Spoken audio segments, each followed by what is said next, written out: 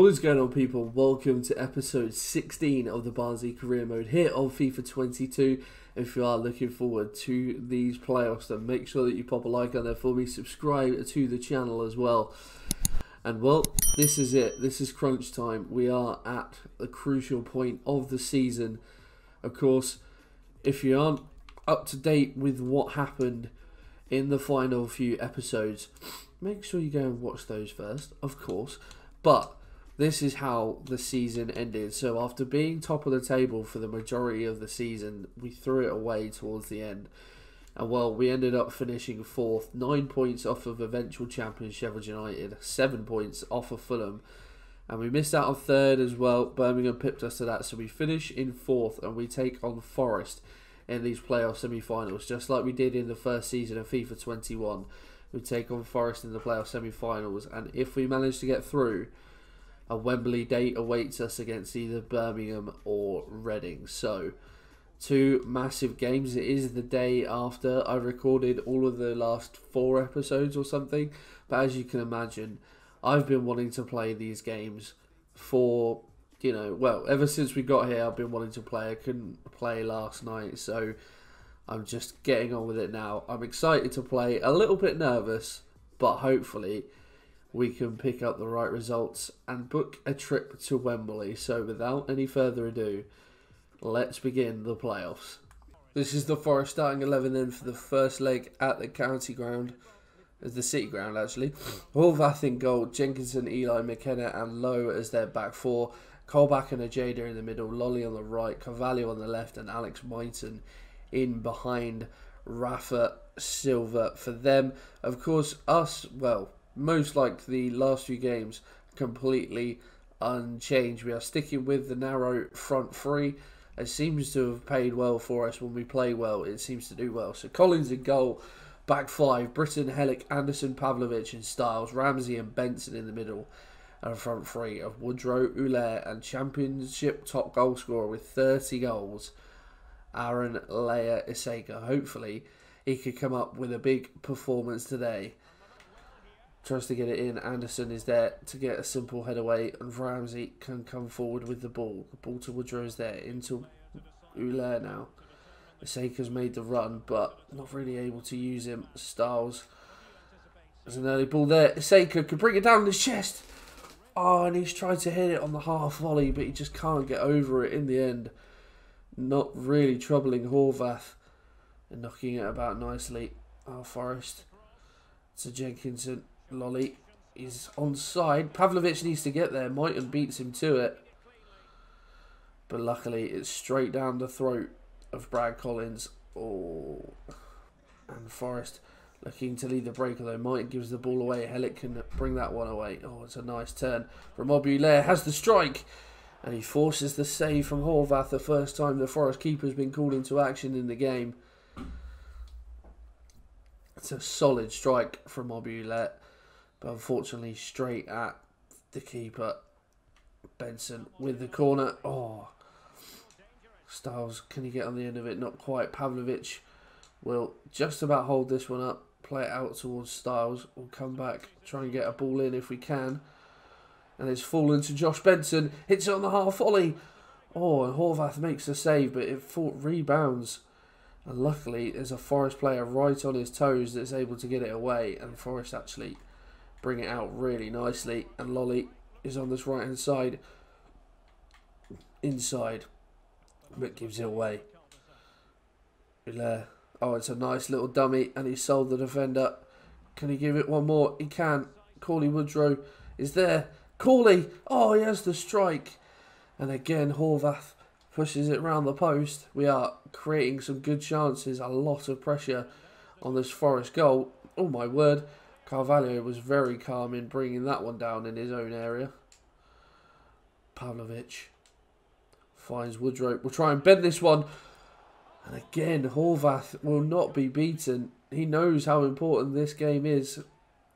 And he's doing his utmost to try and keep the score level. Benson will try and get another ball in if we can. Aim through there this time. His header, I think it sort of come off his shoulder, really.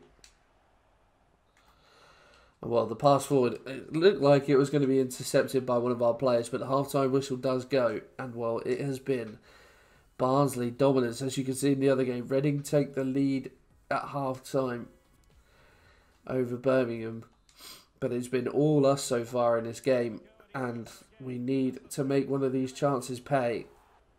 And we can manage to get this one away. Ramsey into Woodrow. It's actually a good ball to be fair. And the Forest defence are backing off. We'll wait for Styles to hit the overlap. I was aim I even pushed the analog stick up, but uh, unfortunately, well, Helik does really well to intercept. Unfortunately, uh, didn't quite pan off for us. Benson though have a strike from distance. Well, first effort of the second half forces a save from Horvath. Couple of changes for us. Morris coming on for Hilaire and Valakari on for Benson. See if we can get a decent ball in. Iseka with the corner. Oh. Helik is the one that picks it up. Goes to the effort. Normally, I wouldn't shoot from there with the centre half, but he managed to work himself in the area, so I thought, why not? Silva, Zinckernagel Styles does well. And there goes the full-time whistle. It's nil-nil in the first leg of the Championship playoff semi-final, but not for the want of trying. I can't remember Forest having a shot, to be honest, but uh, we certainly peppered their goal. But that man, Ethan Horvath, they had one shot apparently, we had eight. But uh, yeah, that man, Ethan Horvath, has kept his side in this game. Reading win 2 1 in the first leg, but it is at home, so they do have to travel to St Andrews with a one goal margin our lineup then for the second leg, no change as you can imagine. The players fit enough to continue, so that is exactly what they will do. Hopefully, they can put us through to the playoff final and a trip to Wembley. This the Forest lineup then. Horvath in goal, Spence, Eli, McKenna and Lowe at the back, Ojeda and Zinckernagel in the centre, Johnson, Carvalho, Mighten and Lyle Taylor up front for them. So a few changes. I'm thinking maybe four players coming in for this game, but um, yeah, we we know we know the job. Regardless of who's playing for Forest, we know what we have to do. We have to win this game if we want to play in the Premier League next season. The fact that Forest are sort of more defensively set and harder to break down is making me more nervous for this game. Because I feel like with how defensively solid they were, or are.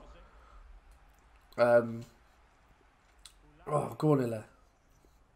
Yeah, with how defensive solid they seem to be.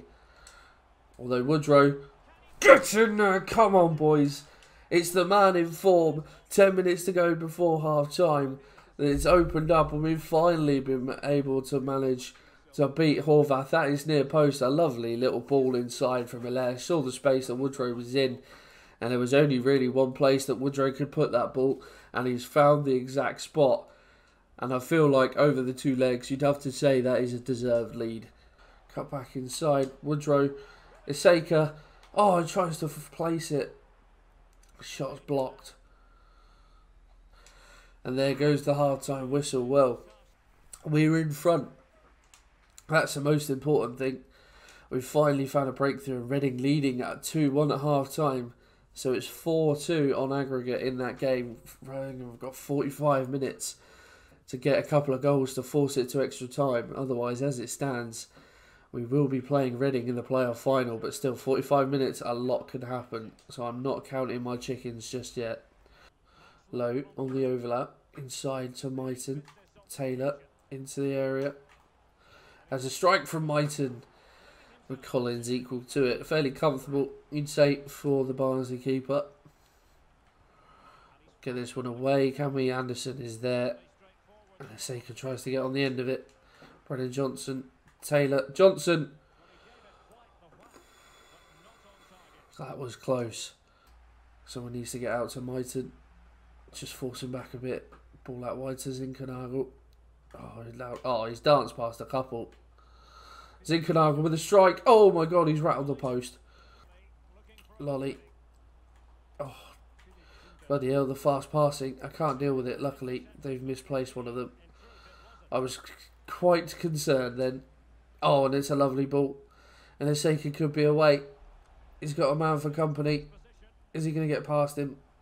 No, the defender gets back at him well, to be fair. referee, Referees come straight through the back of him there. It could well be a red card. And it is. Scott McKenna has lost his head. And with less than 10 minutes to go, Forest down to 10 men. Could have a go from here, you know.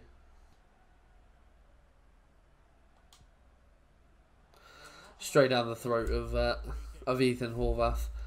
But yeah, less than 10 minutes, Forest down to 10. Their, their task has just been made a fair bit harder, it must be said.